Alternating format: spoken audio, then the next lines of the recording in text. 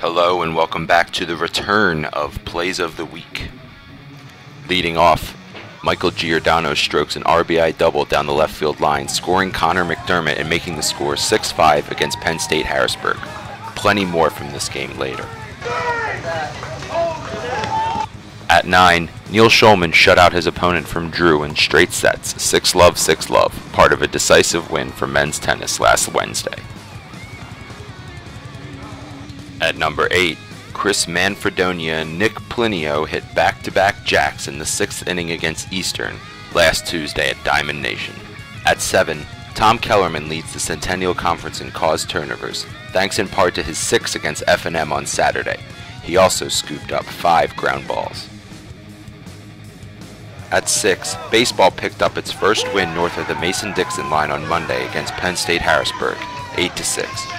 Reliever Ryan Banks got the win, throwing three innings of scoreless relief, including getting the final out on this strikeout looking. Hannah Molk collects one of six victories for the Mules, 6-3-6-2, as women's tennis defeated Elizabethtown 6-3. In what will be one of many records she's likely to hold at Muhlenberg, Stephanie Umbach set the record for hat tricks in her career with 38 against number one F&M on Saturday. She also made this spectacular play, stealing a pass from the goalie and feeding Kelsey Nagel for the goal. At 3, Eric Chavis sealed men's tennis's first win of the year with his 6-1, 6-2 victory over Drew. This win made the match score 5-0 Muhlenberg at that point, and they went on to win 8-1.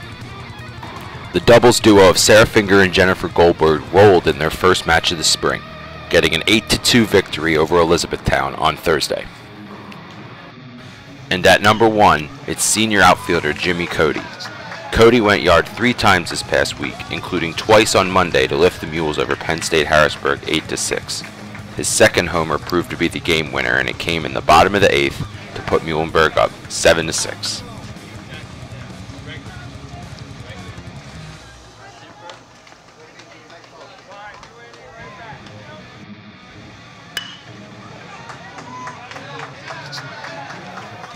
Thanks for watching, and see you next week.